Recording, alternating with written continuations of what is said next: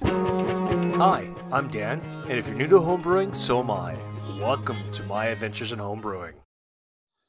Hey everybody, it's Dan. It's that time once more to go around the world one more time and have a beer or two along the way. Thank you so much for tuning in this week. I'm sorry for the late uh, get out of this video, but you know how life goes, things get in the way, and you just gotta adapt. Uh, thanks for listening to the episode last week about Schwarzbier. Truly appreciated. Uh, it is one of my favorite beers. Um, I don't know what it is, but I have an affinity for dark beer. I mean, I like porters, stouts, imperial stouts, imperial porters, barrel aged stuff, Schwarz beers, Dunkels, and you you name it. It's the kind of beer I kind of like, which is um, kind of cool. So yeah, um, so uh, last week we talked about Schwarz beer. Uh, I actually have that beer kegged right now, uh, and it, it's really really good. Uh, if you're into um, dark beers and you're into porters and things, you'll be able to tell uh, the slight differences in the flavors of the beer. Yes, this is very, very uh, roasted flavor forward. And that's kind of what I like. I kind of like that nice, kind of nice, deep, rich, uh, roasted flavors of malts that you can get for from dark beers. So yeah, so yeah, it'll be interesting what we talk about this week. So, a little bit of housekeeping. Uh, thank you to the guys over at Escarpment Labs for their continuous support. It's greatly appreciated. Thank you to the great people over at Brewers Friend for the great offer they've given us for the next little while for when you guys first sign up. And also, uh, you know, everyone who has ever supported me along the way uh, has been greatly appreciated. Um, I do need to say uh, one thing that, as I have an idea for maybe that's something that's upcoming. Um, I would like to maybe see if there's anybody in my local area who are, who is listening to the podcast uh, that would like to uh, get together for a brew day, learn to brew, or just collab on a beer. If you're interested, give me a shout uh, at uh, my adventures in homebrewing at gmail.com or through Facebook or through Instagram or even on Twitter. Greatly appreciated. Uh, let me know what you think. If you're down, we can set something up. And if you're a first time brewer and you want to learn a little bit more about what I have and how I use it, let me know. I'd be more than willing to have you guys come out and we can run a brew day here and, and get something going. Um, thank you also to uh, Jeff over at the Urban Barrel for hooking me up with uh, two five gallon bourbon barrels. Greatly appreciate. They are going to be getting put to use very very soon. So yeah. So without further ado, let's go for a quick uh, message from our sponsor, and uh, we'll be right back. Hey, it's Dan here one more time, and I'm happy to say that we are now, or should I say, my podcast is now sponsored by Escarpment Laboratories yeast production for the fermentation of the exceptional craft beer.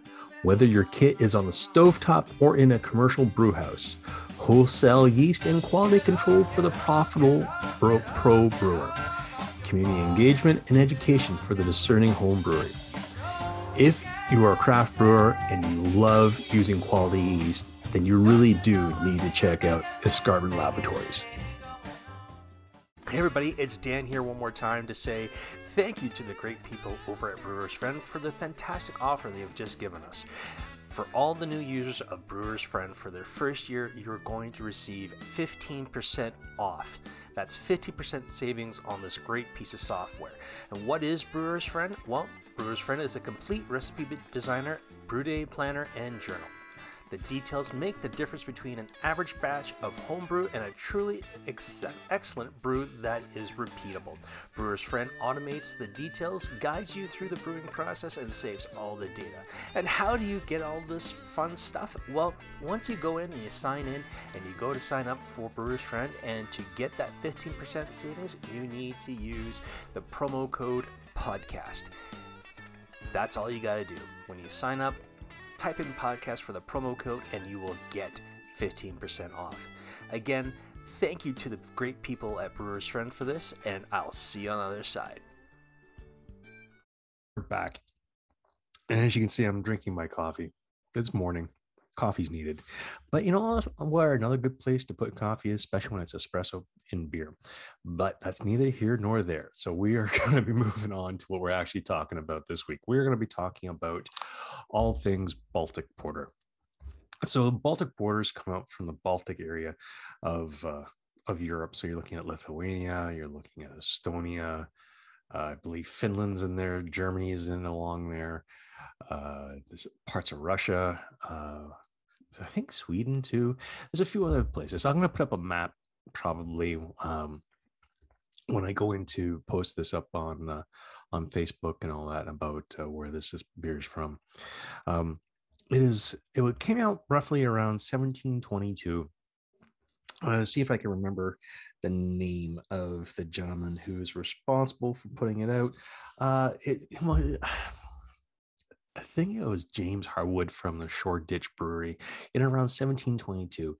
There's been a few things that have said that uh, this beer didn't really exist or whatever else. It was created mainly to fill a void uh, for this for for people who were the working class that wanted a nice beer.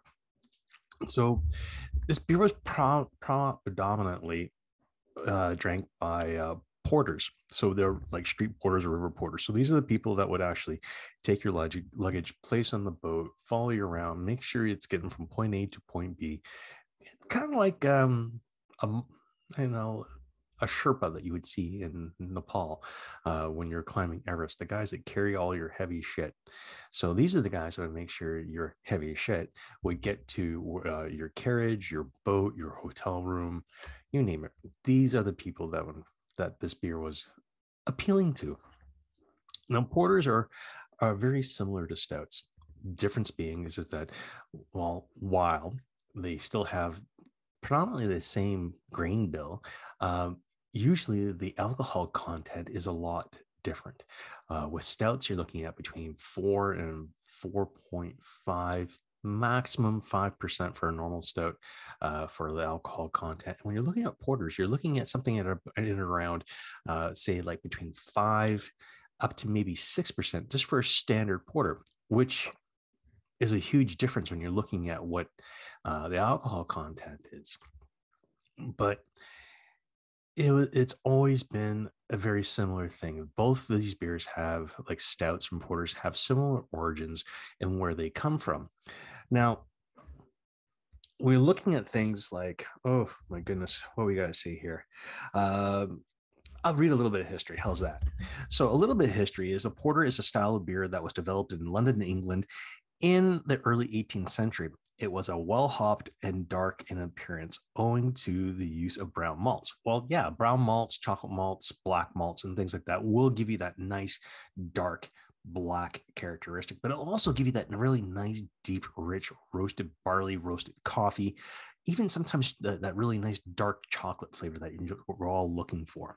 The name originated from its popularity with street and kind of like I said.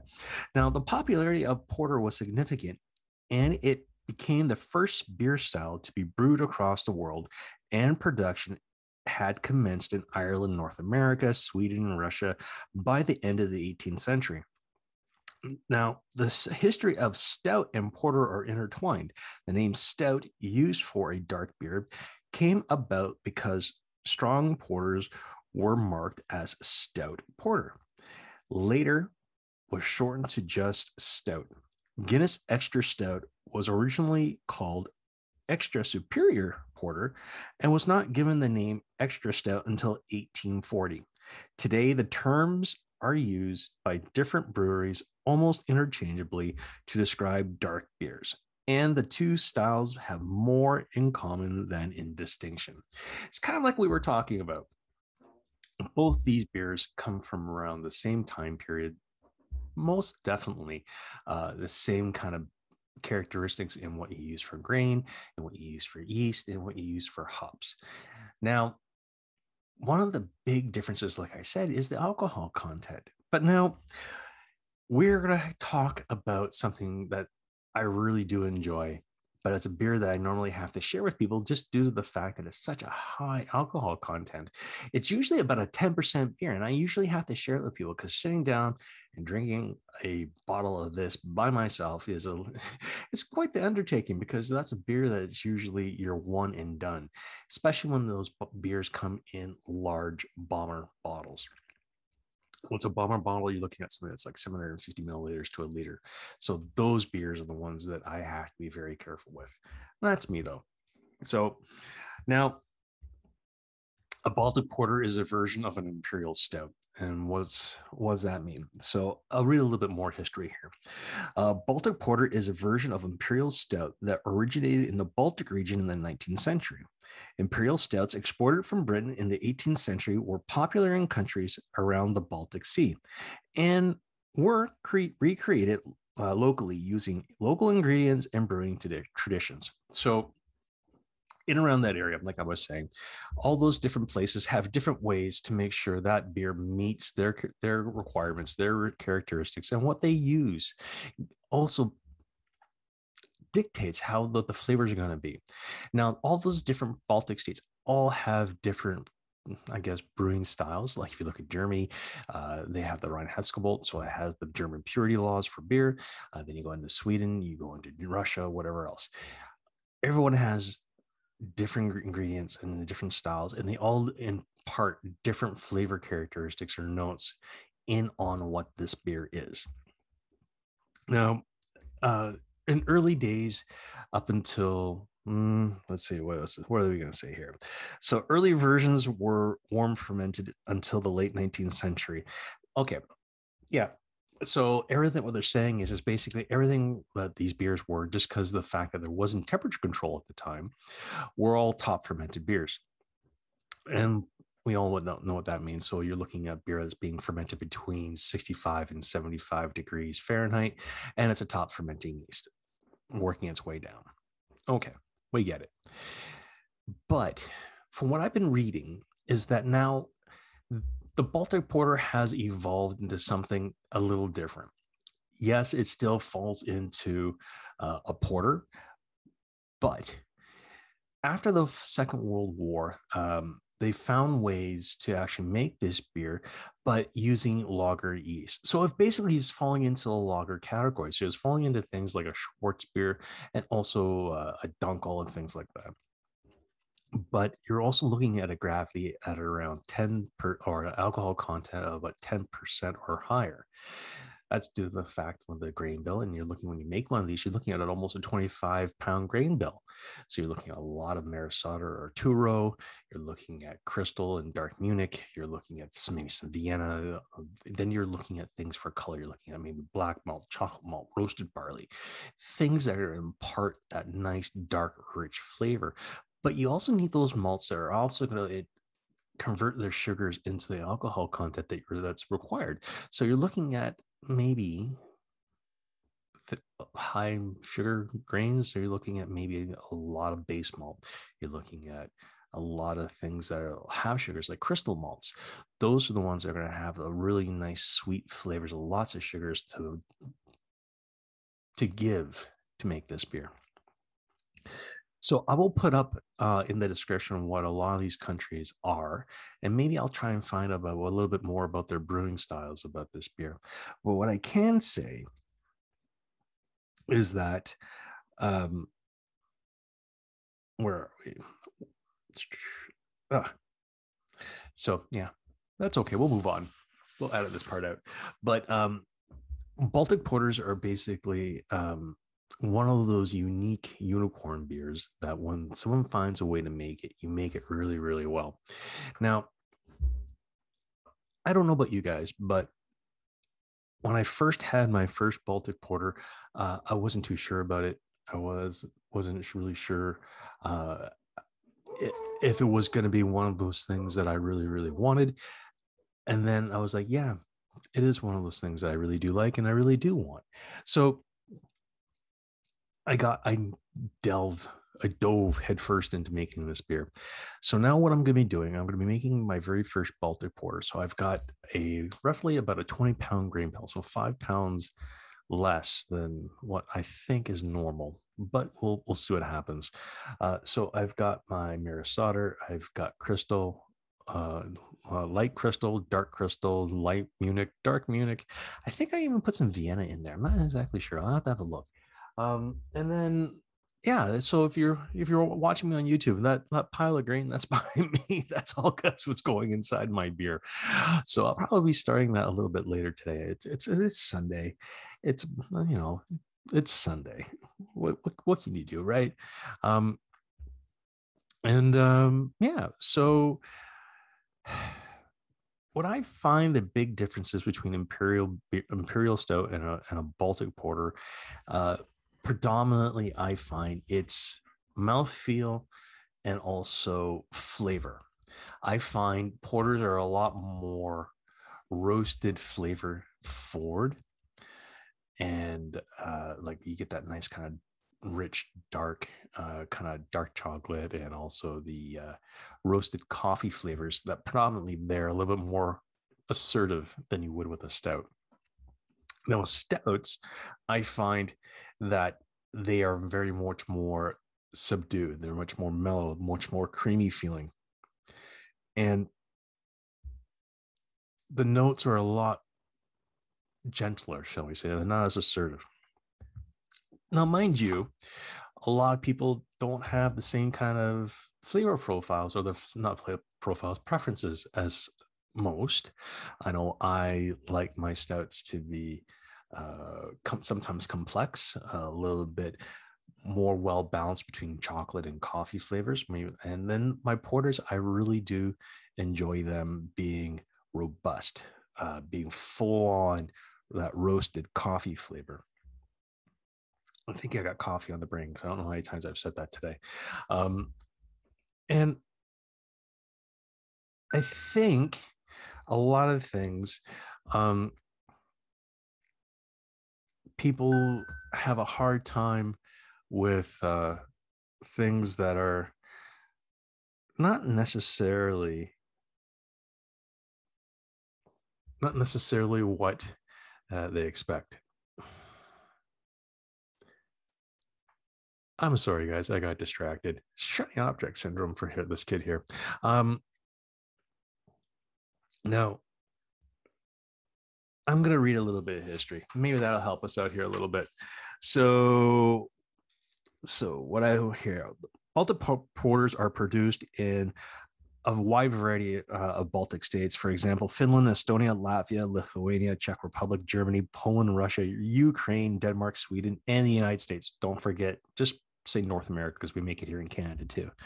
Uh, Baltic Porter is a specialty of many Polish breweries, with countries with the country's oldest being uh, in uh, a certain area. I'm not going to be able to say in the name. I will put it up underneath here, uh, so you'll see it in 1881.